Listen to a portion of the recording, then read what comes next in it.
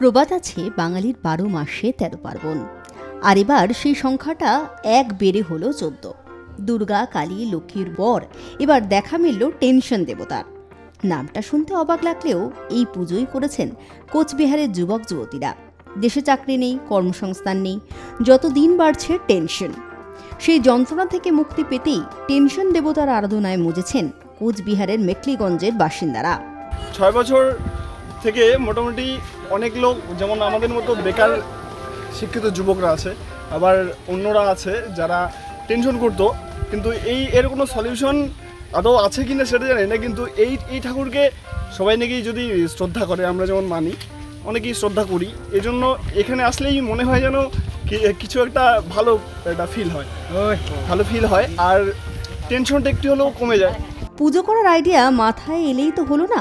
Tension দেবতার কোনো রূপ বা পুজোর মন্ত্র জানা নেই কারোরই। এই সমস্যার সমাধানে ফের এগিয়ে এলেন স্থানীয় বাসিন্দারায় হাত, পা বাদ দিয়ে শুধু একটি পাথরের ওপর মাথা এঁকে রূপ দেওয়া হয়েছে দেবতার।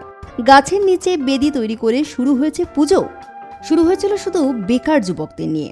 ধীরে ধীরে টেনশন দেবতার আরাধনা করছেন প্রায় এলাকার সকলেই। কেটে গেছে প্রায় ছ বছর। প্রতি বুধবার স্থানীয় বাসিন্দারা সমবেত হয়ে পুজো করেন টেনশন দেবতার। ब्यूरो रिपोर्ट आरोही न्यूज़